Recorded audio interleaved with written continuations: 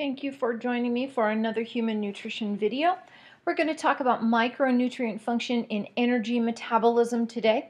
And in order to do that, we have to talk about vitamins. So vitamins are organic compounds. They don't give us any caloric value.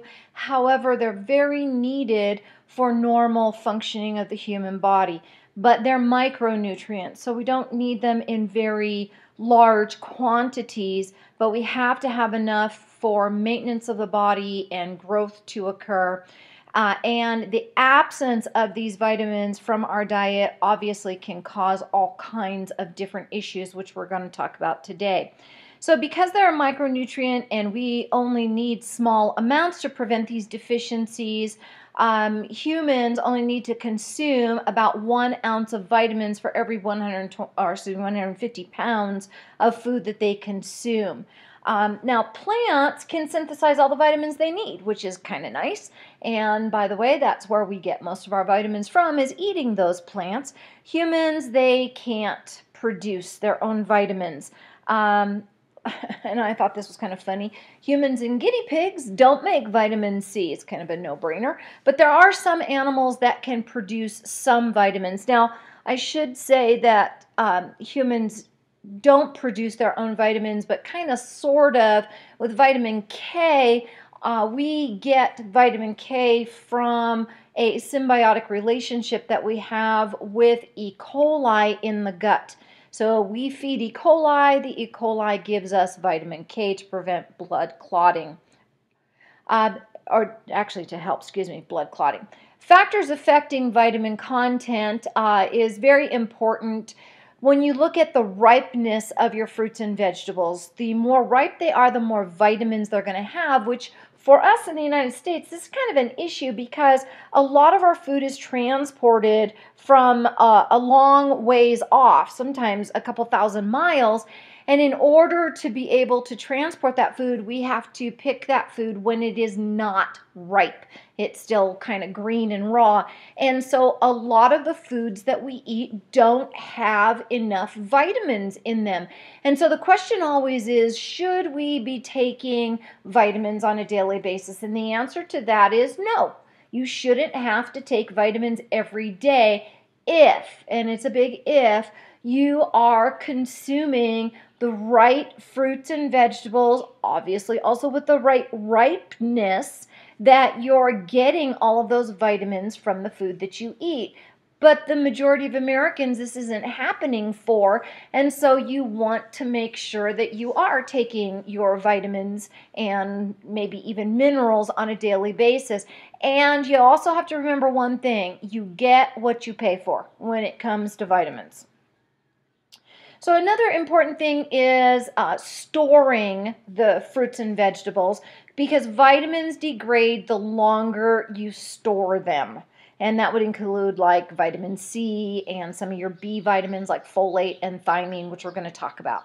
Excessive cooking. So used to be you boiled your vegetables and what they used to say is you could throw the vegetables away just make sure you drink the water that you boiled them in because you're boiling out a lot of those vitamins and the cooking can destroy those vitamins if it's heated too much and then reheated too often. And then depending on where you store your food uh, the hotter it is, the greater the possibility that enzymes can degrade the vitamins in the food. And then oxidation due to air exposure, um, especially when vegetables have already been peeled, can destroy your vitamins. And then alkalinity destroys vitamin D, thiamine, and some other vitamins. So, how to preserve vitamins in your food? You want to make sure that you're keeping your fruits and vegetables cool, and uh, most likely that is by refrigerating them. But bananas, onions, potatoes, tomatoes, uh, you don't really want to have to refrigerate those. You're going to put those in some airtight container or in some kind of vegetable drawer to keep them. And then trim and cut parts off of your uh, vegetables, but only what is inedible. You should be leaving everything else. And probably the best way to cook your vitamins is to steam fry them or to stir fry them. And then you could also steam them like in a microwave, but probably microwave not exactly the best. It can still destroy some of the uh, vitamin value in your veggies. And you don't want to have to cook a lot, so you minimize your cooking time.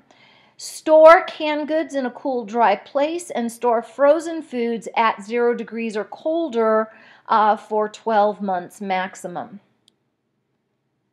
And then keep milk away from light because that uh, being exposed to too much light, which is why um, a lot of the milk cartons are thicker so that there's not light that's going to come through that. It helps to preserve the B vitamin called riboflavin. And this just shows you, you can look at this later, some of the um, things that happen with your water soluble versus your fat soluble vitamins. And today we're basically going to be talking mostly about your water soluble B vitamins and what's going on with them in the body. Those B vitamins would include B1, which is thiamine, B2, riboflavin, B3, niacin, B5, pantothenic acid, vitamin B6, pyridoxine, B7, biotin, B9, folic acid, or sometimes also pronounced folate, vitamin B12, cyanocobalamin. So the water-soluble vitamins, you have to ingest them regularly, but any excess that you're going to take, because it's water-soluble, it's going to dissolve in the water of the body and then be removed from the body. So either by the kidneys, you're going to have it end up in the urine or in the stool. And most are not stored, except for B12 can be stored. Uh, easily lost when food is cooked in the water. We talked about that. So just drink that water if you're going to boil your vegetables, or probably stir fry, steam them would be the best way to go. So they often co-occur in the same foods, and so that's good. When you're eating particular foods, you're going to get more than one type of B vitamin, and they're all involved in cellular respiration. So B vitamins are very important in helping us to produce ATP, and what they do is they act as a coenzyme. They're helping enzymes move faster, do their job better, catalyze reactions so that ATP production can keep going at a fast clip. So I don't know if you've ever heard people say, oh, yeah, you know, if you're tired, you need to make sure you take your B vitamins, and those B vitamins will help you to feel more energetic.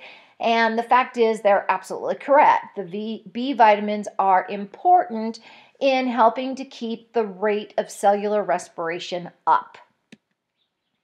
Now, in the United States, because remember, we're getting our vitamins from the plants we eat, there were some processes that we started doing to these plants that started stripping them of their B vitamins. And we'll talk about what happened later, but diseases started showing up. So in the United States, many of our grains were refined. And what was happening is we were producing things like white flour or white rice.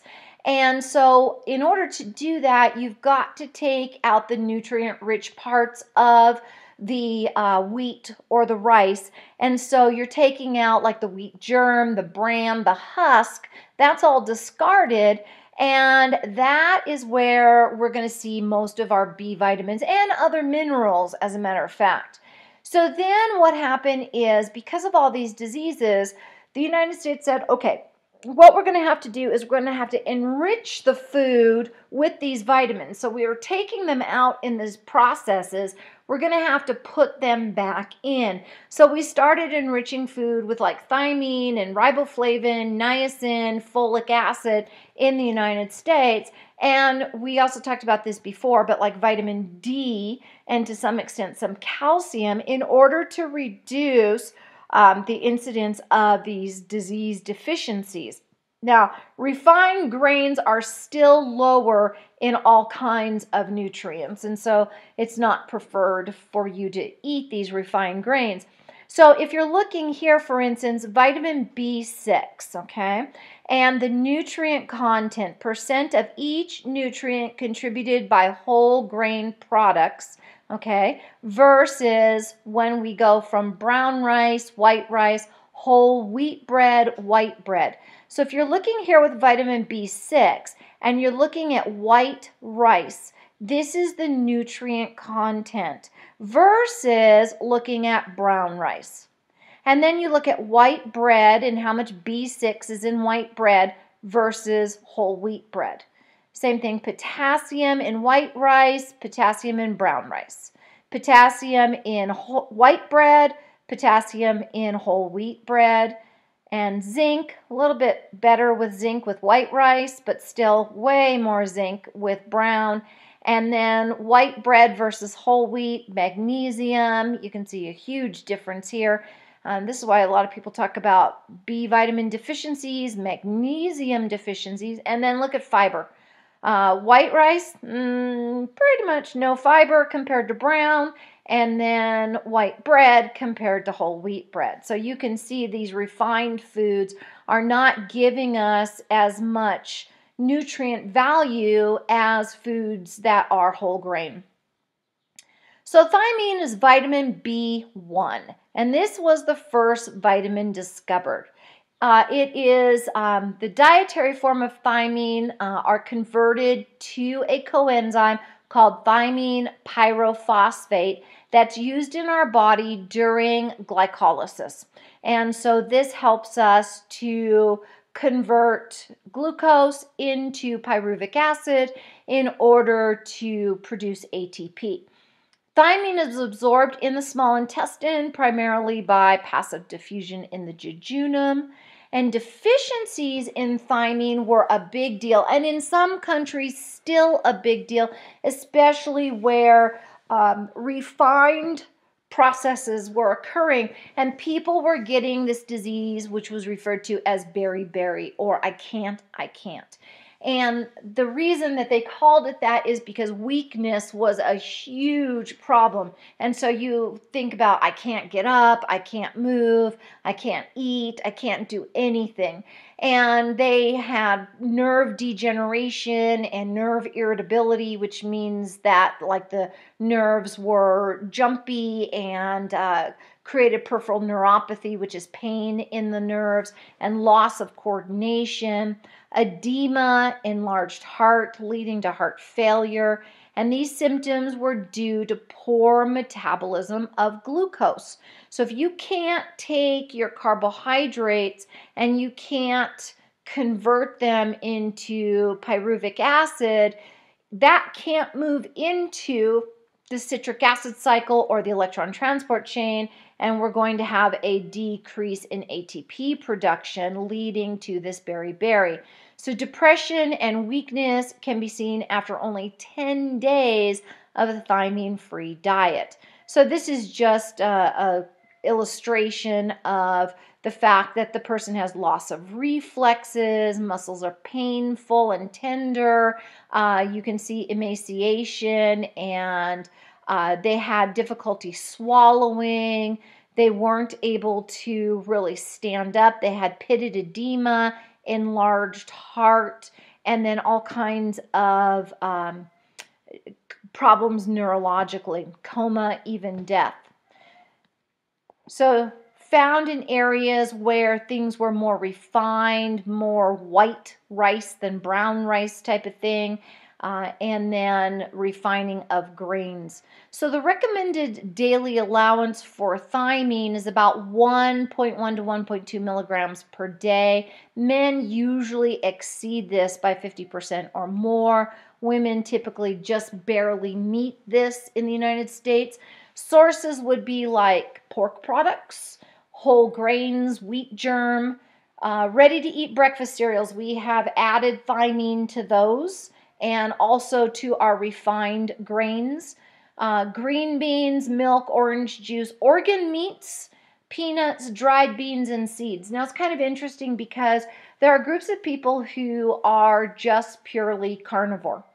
And uh, that means no veggies or fruits in their diet, they're just eating meat. So now the question is if they're just eating meat on a daily basis and we get most of our vitamins from plants, can they get the vitamins and minerals they need from eating this meat? And most of them say yes, as long as they eat organ meat. So, organ meat has a tendency to have more vitamins and minerals in it uh, than just the regular meat. This is showing you some of the foods that we can get thiamine in. So, for instance, Cheerios, uh, 31 to 34 percent, peas about 38 percent, squash 31, orange juice 18 percent, ham uh, is about 74 percent. So your pork products.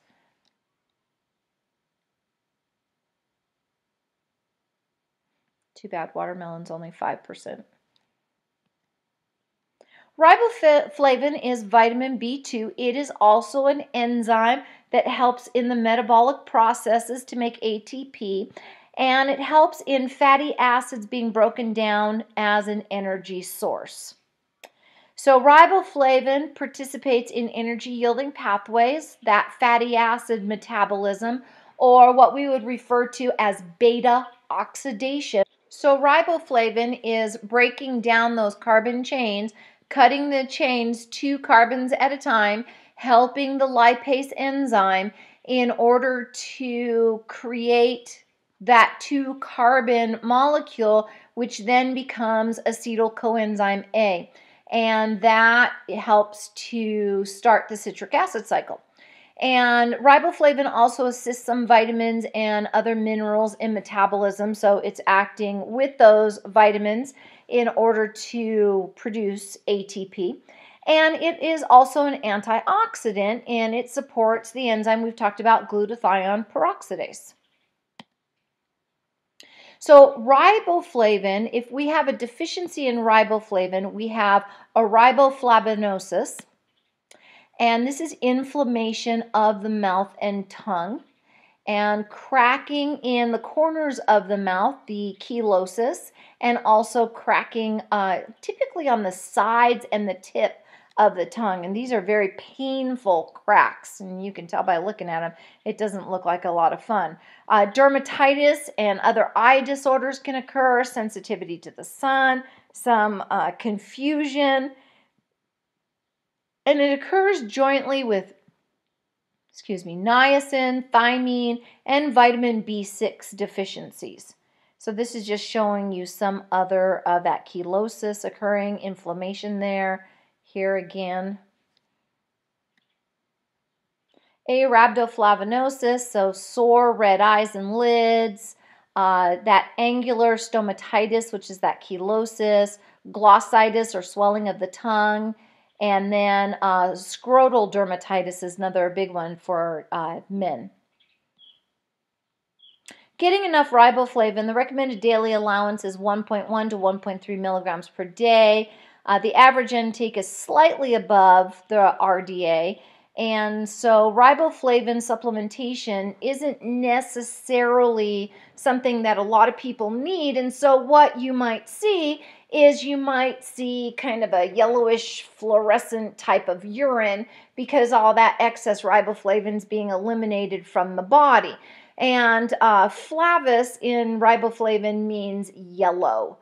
So alcoholics are at increased deficiency of pretty much any type of vitamin, um, but because of a diet low in riboflavin dense foods, they're at an increased risk for riboflavin deficiencies.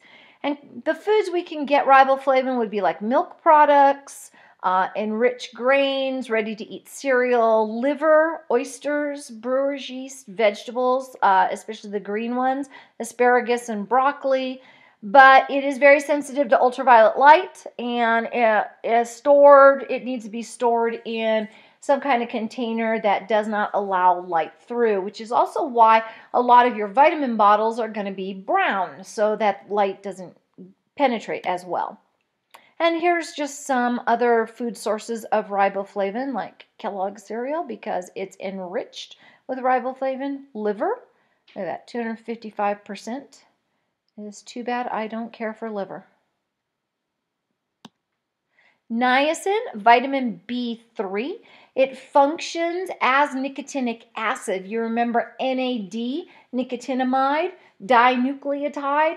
Uh, it is a hydrogen carrier and it carries those hydrogens to the electron transport chain. So for every two hydrogens that NAD carries to the electron transport chain, we're able to produce three ATP molecules. So this is very important. And it is also involved in over 200 different types of cellular reactions and very important in generating that ATP from carbohydrates and fats. And as I said, NAD and even NADP, nicotinamide dinucleotide phosphate. And uh, in fatty acid synthesis, it, we require niacin uh, as a coenzyme in producing NAD. And having niacin deficiency gives you what is called pellagra. And pellagra gives you this rough or scaly skin. And uh, we don't really see this as much in the United States anymore, although between the 1800s to the 1930s, before we had that Enrichment Act, uh, this was a deficiency that was an epidemic in the US. And the symptoms of pellagra are considered the three Ds dermatitis, diarrhea, and dementia, which of course can then lead to death. And this still, where you're going to see this, again, where you see a lot of vitamin deficiencies, are in people who are severe alcoholics. So this is that peeling and the redness, hardening of the skin, especially it hardens after sun exposure. Just some other pictures of pellagra. Um, this is prevented with an adequate protein diet that is enriched and uh, it became an epidemic in Southern Europe in the early 1700s when they switched to corn as a staple. And it reached epidemic proportions in southeastern United States also. And again, this is because we were refining things and because we do eat a lot of corn. So corn treated in an alkaline solution releases the protein-bound niacin, making it available in corn products such as tortillas, tacos, tortilla chips, corn flour. The adult recommended daily allowance for niacin is 14 to 16 grams per day. The average American, because we enrich everything with niacin because we don't want this pellagra, uh, we take in probably double what we need. Uh, chicken is a very good source of niacin. The tryptophan in chicken can also be metabolized to niacin in the body. Niacin is heat stable and like I said, it can be synthesized from tryptophan. And food sources, chicken, fish, tuna, beef, peanuts, ready to eat cereals, asparagus, coffee and tea. Those are good sources of niacin. And then here's some others, raisin bran, Look at how much we fortify or enrich with niacin. Uh, yellowfin tuna, that's a lot of niacin. Chicken breasts, uh, even peanut butter. Raw mushrooms, lots of niacin. So avoiding too much niacin is also very important. The upper limit is 35 milligrams per day for nicotinic acid and uh, that is one of the forms of niacin. However, large doses sometimes are prescribed by doctors and are used to lower blood uh, LDL cholesterol levels, but it can have very uh, adverse side effects, for instance, damage to the gastrointestinal tract and liver. And then you can also have what's called a niacin flush if you're taking more than 100 milligrams per day and that also can lead to headaches, itching, and then the flushing is where you have increased blood flow to the skin.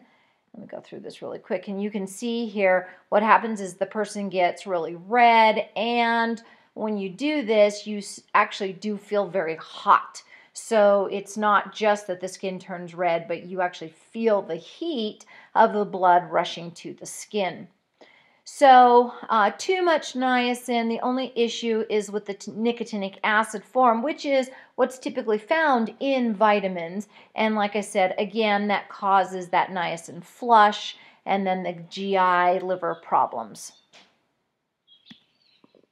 Recommended daily allowance for niacin is about 14 milligrams per day for women and 16 milligrams per day uh, for men, but the mega doses again are supposed to help with cholesterol, uh, LDL levels, and to lower those and increase HDL levels, as well as uh, lowering triglyceride levels. The next B vitamin is vitamin B5, which is pantothenic acid. And this also, again, works as a coenzyme that is essential for carbohydrate, fat, and protein uh, breakdown in order to produce ATP. And if you have a B5 deficiency, it's usually going to be in combination with other vitamin deficiencies. So in Greek, pantothenic acid means on every side. And that is because it's found in a lot of different foods, and deficiencies are very rare. Of course, alcoholics, again, because think about it, they're not um, really eating very much. You have a liquid breakfast, liquid lunch, liquid dinner that doesn't have a lot of greens included in it. There's no upper limit that's known, uh, so you don't usually get toxicity with pantothenic acid, but you're going to find pantothenic acid in things like sunflower seeds, mushrooms, peanuts, eggs, milk and milk products, meats, and veggies. And the adequate intake would be about 5 milligrams per day for adults. Now, if there is a pantothenic acid or B5 deficiency, uh, and we find this in the alcoholics, the result is usually a slow metabolism, and usually um, the person is um, going to have a lot of tingling sensations in the nerves, uh, along with some acne, which is kind of interesting. Could also be involved in allergies. So people have higher allergy responses if they don't have enough B5. And B5 is needed for production of adrenal hormones such as cortisol. And cortisol prevents histamine release, which causes uh, uh, allergies and allergic symptoms. So that's kind of an interesting correlation with vitamin B5. No upper limit is set, like we said, no toxicity. Whole grain cereal, 200% of the dosage of B5 that you need in a day power bars, 216%, liver, uh, 112% sunflower seeds, dry roasted, 52%. So again, show you some of the food sources that are good for pantothenic acid. Um, pyridoxine or vitamin B6 functions as a coenzyme, again for carbohydrates, fats, and proteins, and 100 plus amino acids and protein reactions. So keep in mind these B vitamins, they're helping us with ATP production, but they're also acting as coenzymes for a ton of other metabolic processes as well. So, for instance, synthesis of certain neurotransmitters, uh, conversion of tryptophan into niacin. It requires B6. Uh, it aids in homocysteine metabolism, which we're going to talk about homocysteine and how it interacts with the cardiovascular system. And then break down in glycogen into glucose. So, uh, do you remember the word for glycogen breakdown into glucose? That would be glycogenolysis and then synthesis of hemoglobin, synthesis of white blood cells. So you really don't want to have a deficiency of vitamin B6 because this is going to create widespread depression, vomiting, skin disorders, nerve problems, impaired immune systems. And then, if it helps in making hemoglobin, uh, what's going to happen is your vitamin B6 deficiency is going to produce very small red blood cells with lower than normal concentrations of hemoglobin. And those are called microcytic hypochromic red blood cells or microcytic hypochromic anemia. Microcytic means smaller than normal size.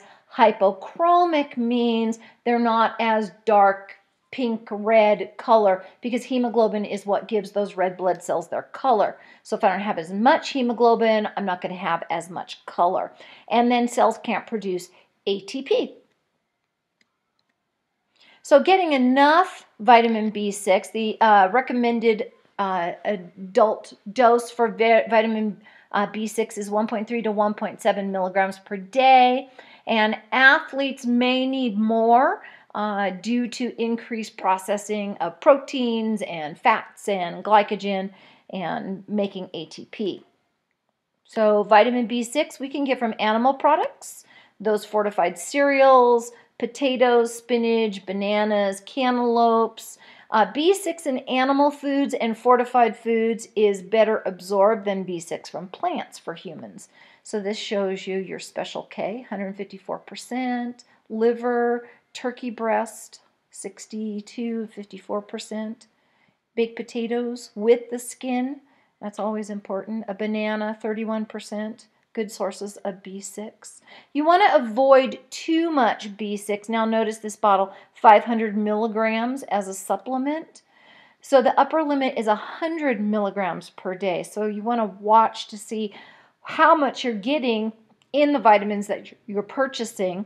Some tablets can have up to 500 milligrams. So two to six grams per day for two months uh, can cause irreversible nerve damage, and this is not good. So it leads to difficulty walking, numbness in the hands and feet from this B6 toxicity.